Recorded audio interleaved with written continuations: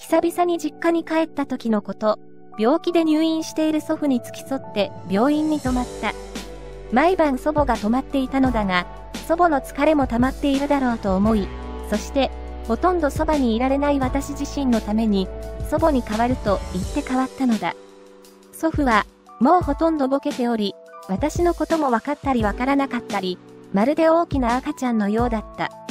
夜寝る時になって、私が祖父の隣に横になると、おい、おいと声がする。どうしたの？と駆け寄って聞くと、あんた誰？という、おじいちゃんの孫だよ。明日には思い出してねガバッと起きて、どうしたの？と聞くと、水飲みたいと。寝たきりのため、水も自分で飲めなかった。水を汲んで飲ませてやると。ああ、美味しいという。で、また、私が横になると、おい、おいという。とにかく寝る暇などなかった。私が横になると、おいと呼ぶのだから。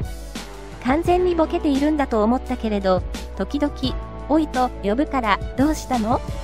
と聞くと、眠れないのか、と聞いてくる。あんたが呼ぶからじゃと思いながら、うーん、大丈夫だよ、と答えた。で、また、横になると、私を呼んで今度は、早く寝ろよ、という。うん、ありがとうと答えて横になったらまた、おいと呼ぶ。祖父に駆け寄ったら、風邪ひくから暖かくして寝ろよ、という。ボケながらも、時々孫だということを思い出して気にしてくれているんだと思うと、切なくて涙が出そうになりました。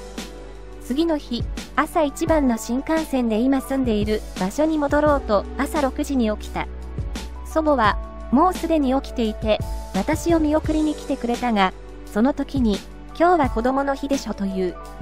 すでに、20代半ばの私は、そういえばそうだねと言ったら、祖母が、近所のお餅屋さんにね、無理を言って、柏餅を朝届けてもらったんだよ、と、私にまだ出来たての柏餅が入った、温かい包みを渡してくれた。